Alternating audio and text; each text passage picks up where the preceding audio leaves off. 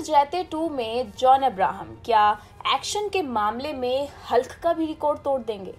John Abraham सत्यमेव जयते के अलावा और किन किन फ़िल्मों में नज़र आएँगे?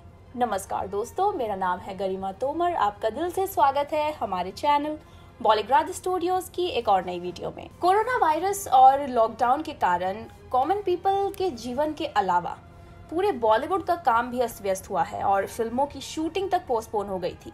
लेकिन अब धीरे धीरे फिर से मामला पटरी पर आता नज़र आ रहा है।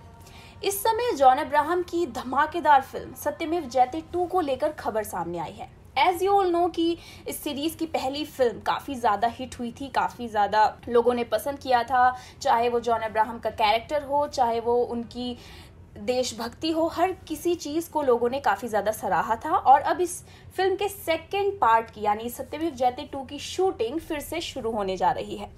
ये हम नहीं कह रहे हैं, इस बात की जानकारी खुद फ़िल्म के निर्माता मिलाप जावेरी ने ट्वीट करते हुए दी है। दरअसल उन्होंने दो तस्वीरें शेयर की हैं, जिसमें जॉन अब्राहम और वो खुद भी नज़र आ रहे हैं। इस फ़िल्म में as an lead actress Divya Khosla नज़र आएँगी, जो याद पिया की आने लगी गाने से काफ़ी ज़्यादा पॉपुलर हुई थी। या यूँ कहें कि इस गाने के बाद उनके करियर को एक फिर से उड़ान से मिल गई, एक पहचान मिल गई। और अब इस फ़िल्म में वो लीड एक्ट्रेस के तौर पर नज़र आएँगी। वहीं भूषण कुमार के बैनर तले बन रही ये फ़िल्म 2 अक्टूबर को रिलीज़ होने वाली थी। लेकिन जैसा कि आप जानते हैं, लॉकडाउन और कोरोना के चक्कर में डेफिनेटली इस फ़िल्म की रिलीज़ डेट में कुछ ना कुछ तो चेंजेस आएँगे ही, क्योंकि अभी नहीं पता ये प्रोसेस कितना लंबा चलने वाला है। वहीं जॉन अब्राहम ने इंस्टाग्राम पर इस तस्वीर को शेयर ज़रूर किया है और साथ ही लिखा भी है कि benchmark set by at the rate Milap Zaveri. Were cut out for me during this break John की फोटोशॉप तस्वीर काफ़ी ज़्यादा पसंद की जा रही है। दर्शकों को काफ़ी ज़्यादा अच्छा लग रहा है उनका ये लुक वहीं पिछली फ़िल्मों में अपने एक्शन से जॉन अब्राहम ने दर्शकों को काफ़ी ज़्यादा इम्प्रेस किया था। एज यू ऑल नो कि उनकी बॉडी काफ़ी ज़्यादा हाईलाइटेड है और उनकी हाइट हो, उनके लुक्स हो, सब कुछ बहुत ही धमाकेदार लगते हैं और जब वो एक्शन करते हैं तो उनकी बॉडी उन, उनके एक्शन से काफ़ी ज़्यादा कनेक्ट कर पाती है। या यूँ कहें कि एक तरह से एवेंजर्स का जो हल्क है, वो उनमें, उनकी झलक उसमें नज़र आती है।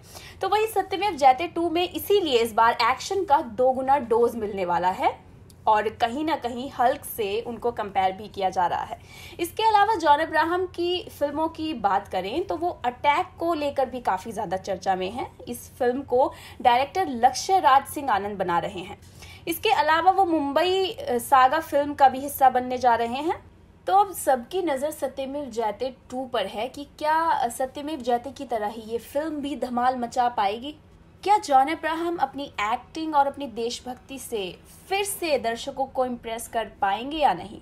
और ये भी कह सकते हैं कि जॉन अब्राहम को इस फ़िल्म में इसलिए भी पसंद किया गया क्योंकि उन्होंने अपने एक्टिंग के जॉनर को जो चेंज किया था। क्योंकि शुरुआत के करियर में उन्होंने कई एरोटिक फ़िल्मों में काम किया है, लेकिन आज वो देशभक्ति फ़िल्मों के लिए जाने जाते हैं। और ऐसा होता भी है, जब कोई एक्टर एक ही जोनर को पकड़े रहता है और एक ही तरह का रोल कैरेक्टर प्ले करता है सो दर्शक उसे एक पॉइंट तक तो पसंद करते हैं, लेकिन फिर उन्हें भी कोई ना कोई चेंजेस तो चाहिए होता है उसके कैरेक्टर में। क्योंकि आजकल ऑडियंस वेल एजुकेटेड है और वो कंटेंट बेसिस फ़िल्में देखना पसंद करती हैं। तो ऐसे में जॉन अब्राहम ने भी देशभक्ति का रुख किया जैसे कि अक्षय कुमार ने किया हुआ है। उन्होंने भी अपने कैरेक्टर में काफ़ी चेंजेस लाए हैं जिससे वो नाइन्टीज़ में हुआ करते थे आज वैसी फ़िल्में नहीं करते हैं। सो so, एक तरह से ये अच्छी बात भी है टाइम टू टाइम चेंजेस हर चीज़ में ज़रूरी होते हैं। सो so, आप कितना एक्साइटेड हैं जॉन अब्राहम के इस फ़िल्म को लेकर और आपको क्या लगता है क्या हल्क को एक्शन के मामले में जॉन अब्राहम टक्कर दे पाएँगे? नीचे कमेंट सेक्शन में ज़रूर बताएँ। ये वीडियो अगर पसंद आए तो इसे लाइक और शेयर ज़रूर कीजिएगा और देखते रहिए हमारा चैनल बॉलीग्राज